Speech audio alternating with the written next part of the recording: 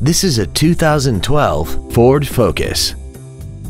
This car has an automatic transmission and an inline four-cylinder engine.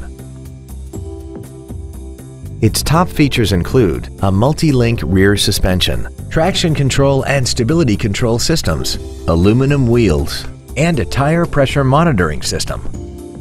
The following features are also included air conditioning, cruise control, full power accessories, a six speaker audio system, a leather wrapped steering wheel, a four wheel independent suspension, a rear spoiler, dusk sensing headlights, a CD player, and this vehicle has less than 33,000 miles.